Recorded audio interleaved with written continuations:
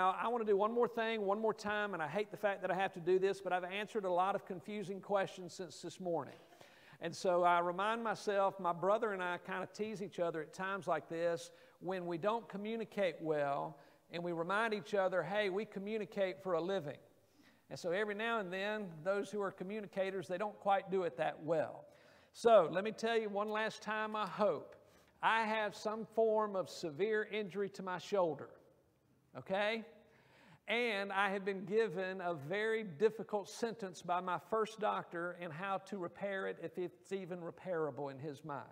So Lori and I did not accept that, and so we continued to look and search, and friends led us to a second opinion which is in the long and the short of this story going to give me a little hope, I hope. Okay? Here's what the doctor said. He said, let's throw a Hail Mary at this. I said, okay.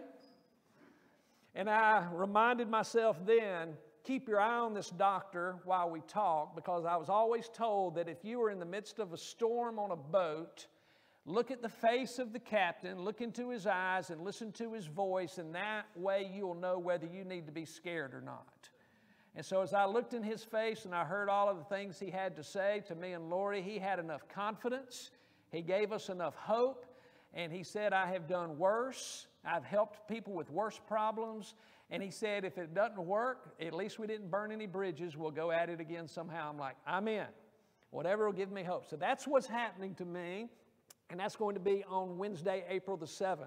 And that's what I meant when I said after that, you may not see my face as much, you may not hear my voice as much for a little while, and that's when I gave you that one good word. And that word is in the house tonight, Brother Herman Parker. He's going to spend a couple of Sundays with us, and we'll figure out some of the rest. And uh, I'll be behind the scenes. Luckily, I don't have to work hard for a living, and so I'll be able to do all the things that I can do, but it may just take me just a little bit of time. So I hope that clears it up, and I hope I don't have to address that again because I don't want to keep talking about that. But hey, I want to introduce y'all to a new friend of mine. Javaris, would you come up here? Javaris? Yeah, you. You know who you are. Javaris, you come on up here. I think y'all might know Javaris, okay? what joke? Look, all I know is I have a tech. I'm going to stand up on this. I'm ready. I'm no, ready you stand down there. Okay, I'm I'm going to stand up here so I can be taller. This is my new text friend named Javaris. Everybody. Y'all know Javaris? Y'all might know him as Jonathan Williams, okay? But he texted me one day, messing with me and wanting to know about our church, and he said, My name's Javaris. I'm like, All right, Javaris, let's go. And so we just got to going. But hey, I, you know, I know he, you have roots here in Eufaula, right? And y'all have roots with him. I have heard oh, no. that we need to have you and Brad Stevens sing a duet. Is that true? And That's what I've heard. And Wayne. Uh, and Wayne. And Wayne. Okay. Now, now I, I also heard that you are the lead singer. Oh no! I get that. Isn't that what you said, Stephen? Yeah. He is the lead singer, and so no, listen, Jonathan and I have kind of gotten to know each other through Facebook and through Messenger. He's always very kind to me. He keeps up with everything that goes on here. And he is the minister of outreach at a 3,000 member church in Montgomery, Alabama, the uh, Frazer. And Jonathan's worshiping with us tonight. And so I'm going to, I told him, I said, I'm about to look like Randy Giddings, not the head, but the arm. Um, and I said, one of these days I'm going to travel up to Montgomery and I want to sit down and learn from you in this area of outreach. And so uh, I just want to poke some fun and have some hey, fun. I appreciate it. Thanks for yeah. texting me back. Yeah, you're right. So I just want to make sure y'all knew, knew who Javaris was. And so uh, thank y'all for that very much. Hey, uh, let's get to what we came for tonight. We're going to come back in, uh, to this series of messages that we've been in for a few weeks uh, that I have uh, given the title to of Famous Last Words. Uh, I'm sorry I didn't get you an outline tonight. There's not going to be as much of one of those outlines tonight uh, that you're used to seeing anyway, but uh, if I need to, I'll give you one later and go back to this because we've covered five of the seven last sayings of Jesus, and we have two more to go. And so tonight we're going to come to number six. Next week, which is Easter Sunday morning, we are going to do number seven. But tonight we're going to come to this one that is called It Is Finished. And if you have a Bible with you, I invite you to open it back to where we were this morning in John's Gospel, chapter 19. We'll come to that in just a moment. I want you to keep your Bible open because we'll come back to it as well here in a second. But I want to ask you something the, just to kind of get us started in thinking about uh, this word, it is finished, and it's really the gift of victory. The gift that Jesus is giving us in this, I've, I've tried to label each one as a gift. Uh, when Jesus said, Father, forgive them, for they do not know what they're doing, He is giving us the gift of forgiveness. Then to the criminal on the side of him, the evildoer that confessed his faith in Jesus, Jesus said to him, Assuredly I say unto you, Today you will be with me in paradise. And so that's the gift of assurance. And then Jesus gives us this wonderful gift that I've called affection or love. Either one is, uh, will work there. As he looked at his mother, Mary, and said, Behold your son, as he nodded or motioned to in some way to John. And then he looked at John and said, Behold your mother. In other words, Mom, John's going to take care of you from this point forward. And as I said this morning, John, you know what to do. And he did. And so, a great gift of affection and love and assurance and forgiveness. And then we talked about this gift of anguish. That in the midst of this three hours worth of darkness, Jesus cried out in anguish in, in some of the worst uh, imaginable emotion, pain, not just physical pain, but the pain of separation from the Father when he cried out, My God, my God, why have you forsaken me? And the reason why that is an incredible gift is because he, as he's cried out in anguish in that way, that means we do not have to cry out in that anguish for eternity if we would but accept Jesus as our Savior. This morning we talked about the gift of humanity where Jesus simply declared from the cross, I am thirsty.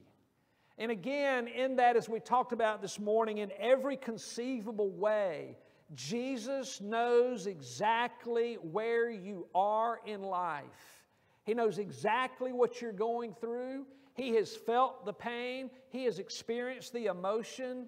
He knows everything there is. And I ask you the question what other God, as if there is another God, but what other God has done that for those that are called his subjects? There are none. And so tonight we come to this word called it is finished. And the, again, the gift for us tonight is victory. But let me ask you this when it comes to everyday life is, have any of you ever said something like, I just don't feel like I have enough time to get everything done? Anybody there? Okay, I'm the number one guy that does the same thing. I just can't seem to get it all done.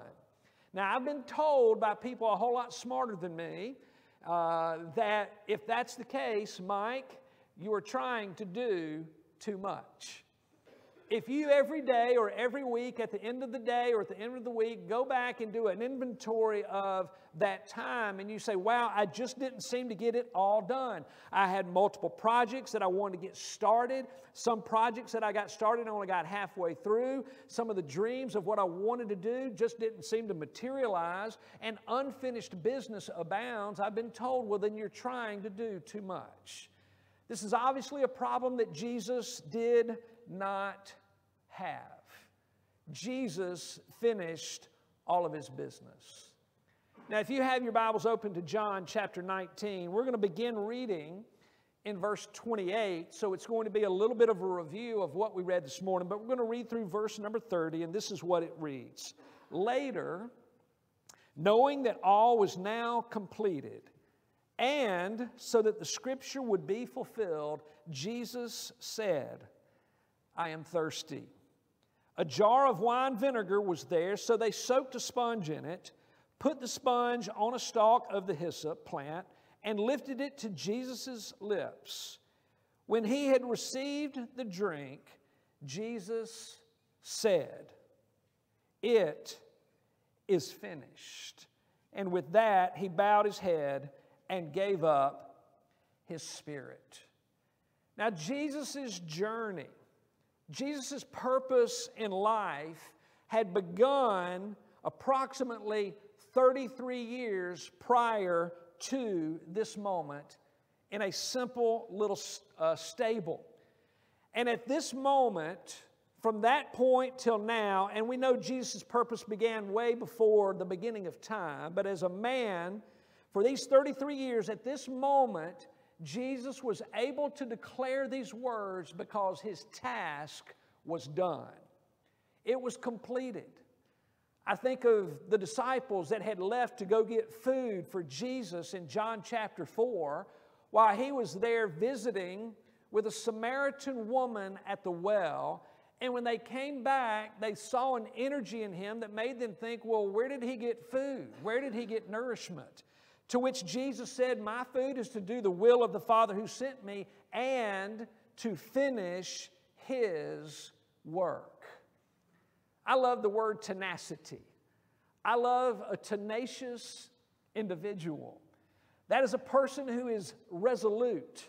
That is a person who is focused. That is a person who does not let other things get in their way once they know exactly what their purpose is and what their goal is, and they work toward it. It happens to be one of the traits of my daughter. I've always looked at my daughter and I've known that she is a very tenacious individual, and once she is on that path, she is unmoved. And if you know what I'm talking about, or if you don't know what I'm talking about, ask Lori, she can tell you. Tenacious. And that's the way Jesus was. He was a man of purpose, fully man, as we talked about. And he said, I have come to do the work of my Father who sent me and to finish his work. What actually was finished at this point? When Jesus says, It is finished, what was the mission that was now finished as he uttered these words? Let me give you a couple of examples. In Luke chapter 19, and verse number 10, Jesus says, For the Son of Man came to seek and to save that which was lost. He had completed his task. In Luke chapter 4, verses 18 and 19, Jesus gives us multiple versions of the same purpose that was his. Number one, he says, I have come to preach the good news to the poor. He said, I have come to proclaim freedom for the prisoners. He said, My purpose is to come and give recovery of sight to the blind, and to release the oppressed, and to proclaim the year of the Lord's favor. In John chapter 10 and verse 10, he gives us more of his purpose that was finished when he tells us that the thief came to steal, kill, and destroy. But I, he says, have come that you might have life and that you might have it more abundantly. Upon his arrest in John chapter 18 and verse 37 to Pilate, he simply said, I have come to testify to the truth. In John chapter 1 and verse 29, John the Baptist spoke of the purpose of Jesus that he came to fulfill, where he said, Behold, the Lamb of God who takes away the sin of the world. Jesus again spoke of himself in Mark chapter 10 and verse 45, where he said, For even the Son of Man did not come to be served, but to serve, and to give his life as a ransom for many. Paul to the uh, young Timothy in 1 Timothy chapter 1 and verse 15, Paul says to him, he says, Christ Jesus came into the world to save sinners. John in 1 John chapter 3 and verse 5 says to us that he appeared to take away our sins. In a nutshell, you have heard in those random survey of verses the purpose of our Lord Jesus Christ that he had come to do. Now, Jesus often spoke of the work he had to do in the two metaphors of the cup and the baptism that were His to drink of fully and to be fully immersed in in baptism as the will of the Father. And at this moment, Jesus knew that He had, uh, that the cup had been drunk and that the baptism was now complete.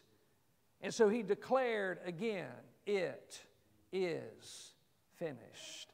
I want you to look at those verses once again because there's one singular idea found in these verses that's represented in three different words that are all derived from the same Greek root word telos. Look at verse 28 where it says, Later, knowing that all was now completed.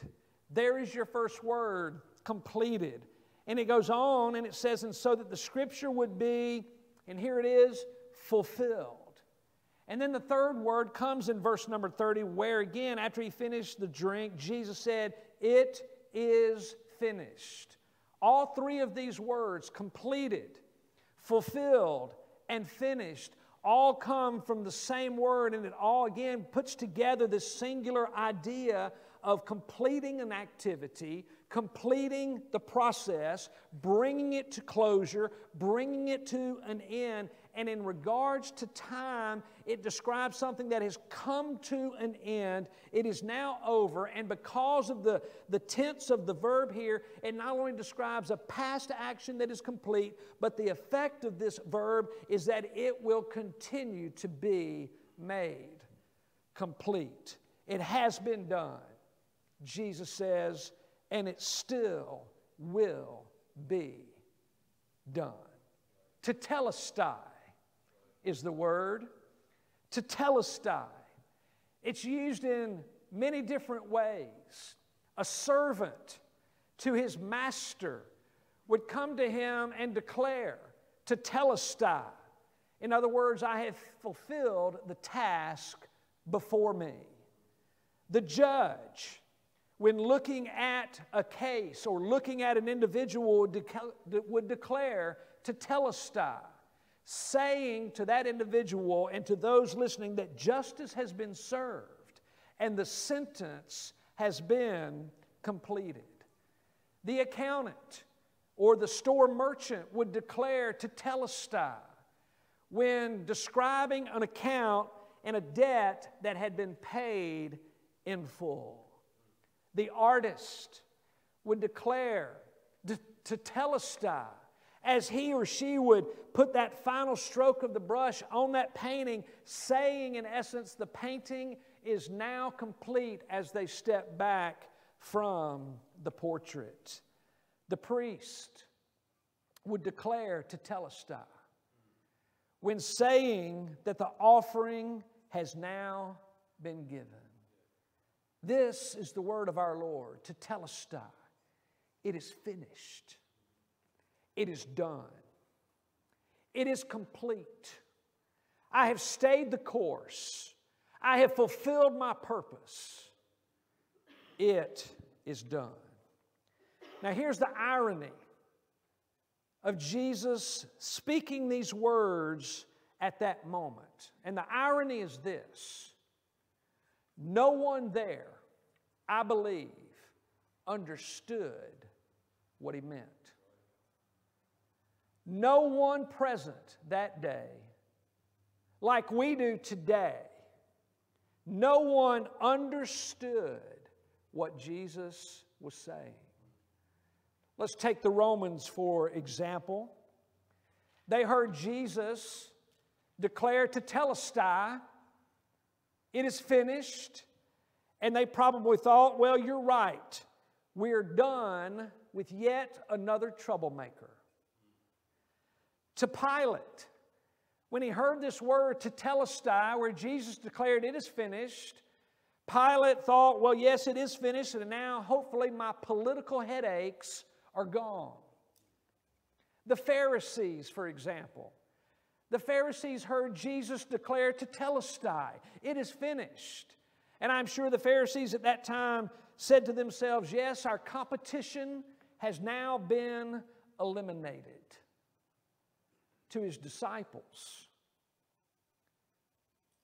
who were not even there, but got the word that to tetelestai, it is finished. I'm sure at that moment they thought to themselves that our dream of a new kingdom has vanished. No one understood him that day. As Jesus declared, as the darkness began to lift. As he declared Tetelestai, everyone scratched their head, wondering what is it that Jesus meant. We know today that these word, this word Tetelestai was not a cry of defeat. We know that this word Tetelestai was not a cry of agony at all. It was not a cry of pain. It was not a cry of emotional distress. It was not a cry of any of those things. Jesus was not crying defeat. This was indeed a cry of victory. And so, as Jesus on that cross declared Tetelestai, he was declaring and claiming victory at that moment like it had never been uh, claimed before. And that is our gift from him in, these, in this word, and that is our victory is found in him. Losers whimper away when they are defeated, winners declare victory. Many years ago, I was about to say when he was young, but he's still young. My son, he was 25 years ago. I've forgotten exactly what was going on, but my son won. And he decided to declare victory. And so he did so by clenching his fists, and I'm going to try to do this. And he raised his arms above his head and looked to the sky and goes, ha ha ha. To which my wife, with me in the room, and my father, my father was here this morning, she looked at me and said, There is still not a humble Fortenberry man alive.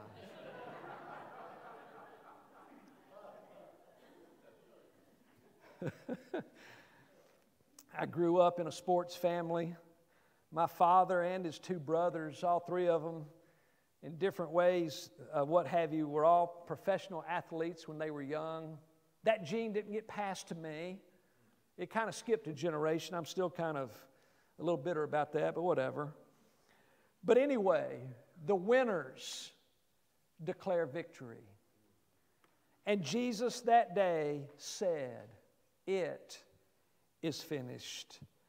The journey that began in a simple stable, that culminated in that moment in untold agony on the cross, resulted in sin, death, hell, and the grave being fully defeated and forever crushed by our Savior.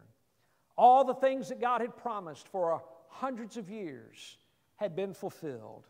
All the demands of God's justice fully satisfied. All the debt that was owed by my sin was paid in full. All the fear of death, are you with me? All the fear of death was wiped away. Hebrews chapter 2 verses 14 and 15 says this Since the children have flesh and blood, he too shared in their humanity, so that by his death he might destroy him who holds the power of death, that is the devil, and free those who all their lives were held in slavery by their fear of death. He is forever defeated your fear, my fear of death. He also forever defeated the power of Satan. In Colossians chapter 2 and verse 15, it says this And having disarmed the powers and authorities, he made a public spectacle of them, triumphing over them by the cross. Your gift tonight is the gift of victory Tetelestai. It is finished. I want you to pray with me.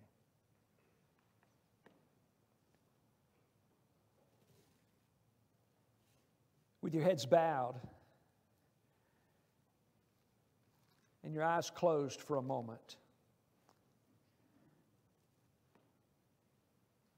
I want to slowly, so that you can pray, call out to you these six gifts from our Lord.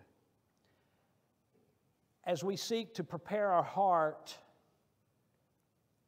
and our mind to partake of the Lord's Supper. What better way would there be to worship Him now but to consider these gifts that He's given in prayer and give Him thanks? Father, forgive them, for they do not know what they are doing. Forgiveness.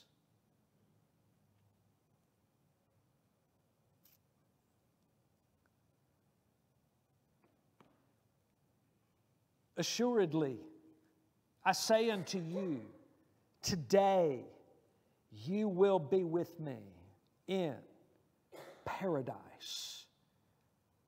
Assurance.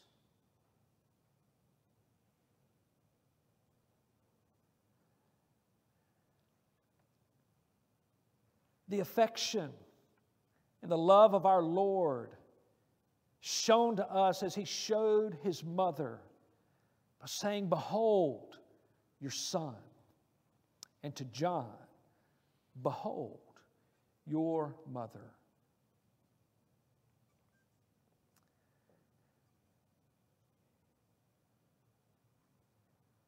His anguish is a precious gift to you tonight, where he declared with the greatest emotion that a person's ever declared a word on planet Earth My God, my God, why have you forsaken me? So that you're, you would not have to live in anguish today or for eternity.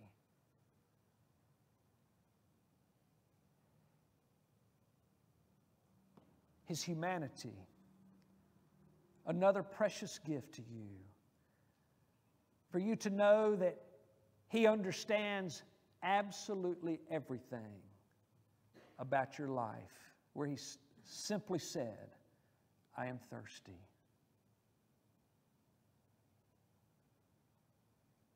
And ultimately, tonight, the gift of victory, where triumphantly not arrogantly, but triumphantly, he declared, It is finished. He completed everything for you. Father, you are indeed worthy of all of our worship.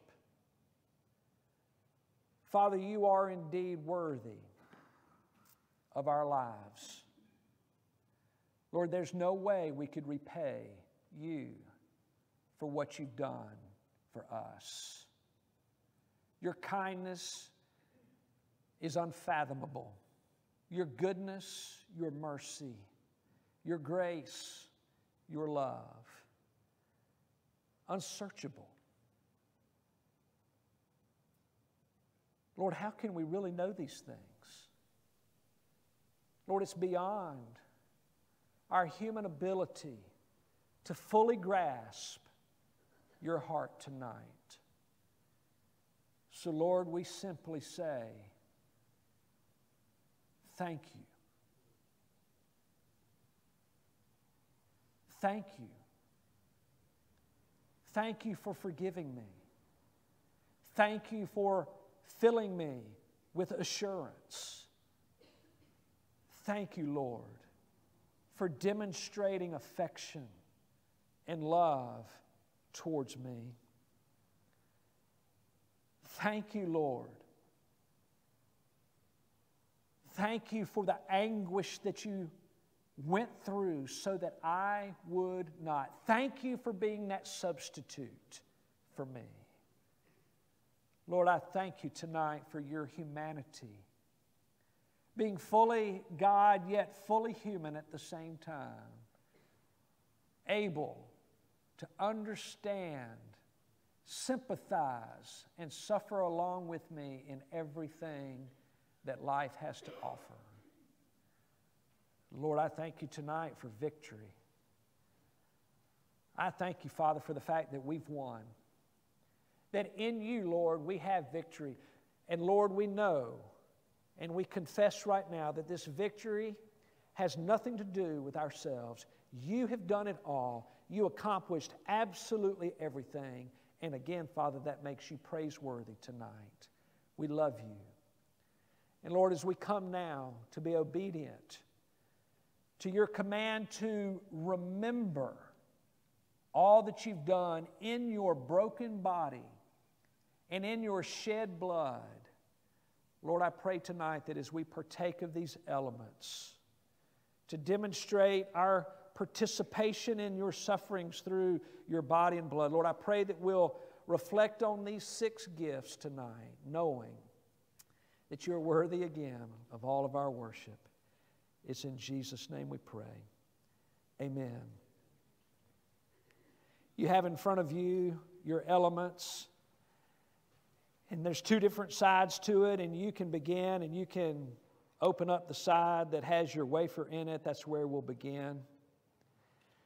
Before we do, I'm going to read to you the words out of 1 Corinthians chapter 11 as Paul speaks to this time for us tonight, where he says this beginning in verse number 23 For I received from the Lord what I also passed on to you the Lord Jesus, on the night he was betrayed, he took bread, and when he had given thanks, he broke it and said, This is my body, which is for you.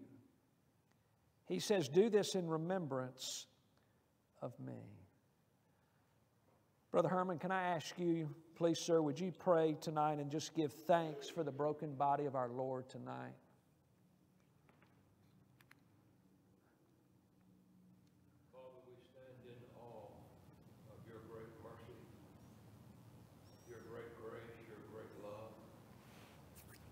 great sacrifice.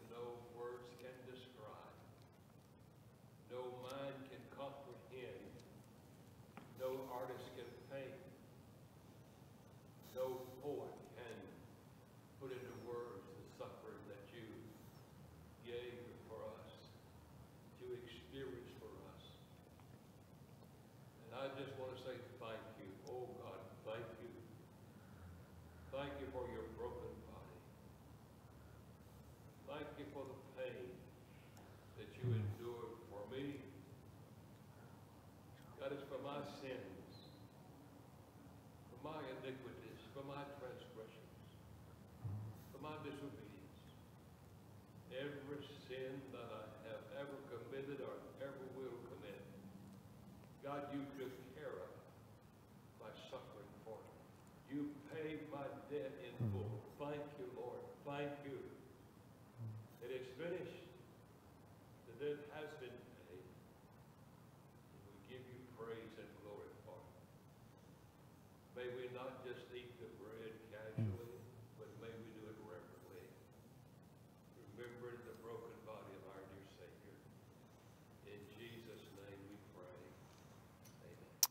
Amen. Isaiah 53, we read these words Surely he took up our infirmities and carried our sorrows. Yet we considered him stricken by God, smitten by him, and afflicted. But he was pierced for our transgressions, crushed for our iniquities. The punishment that brought us peace was upon him, and by his wounds we are healed. We all, like sheep, have gone astray. Each of us has turned to his own way and the Lord has laid on him the iniquity of us all. He was oppressed and afflicted, yet he did not open his mouth. He was led like a lamb to the slaughter, and as a sheep before her shears is silent, so he did not open his mouth. By oppression and judgment he was taken away. And who can speak of his descendants? For he was cut off from the land of the living. For the transgression of my people he was stricken. Yet it was the Lord's will to crush him and cause him to suffer. He said, Take and eat. This is my body, which has been broken for you.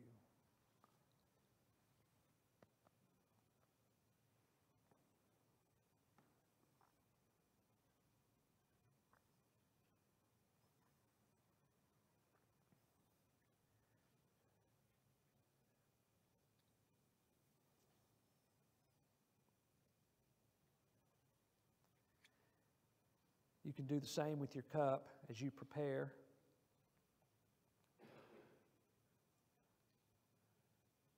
Paul continues in 1 Corinthians 11, where he says, In the same way, after supper, he took the cup, saying, This cup is the new covenant in my blood. Do this whenever you drink it in remembrance of me. I'm going to ask John Wayne, would you mind offering a prayer just to simply say, Thank you, Lord, for your shed blood that's covered my sin?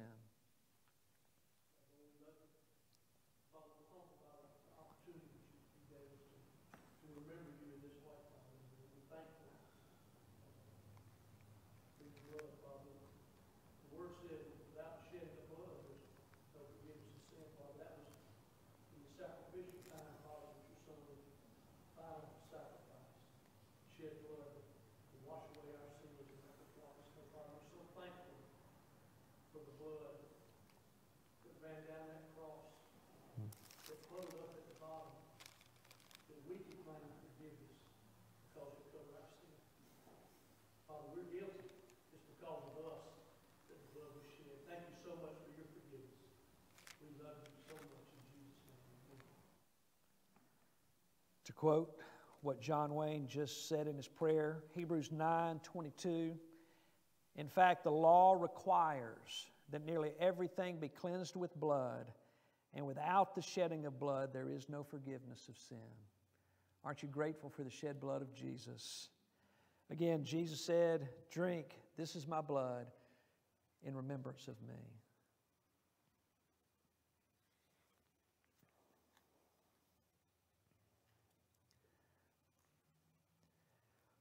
Paul goes on to say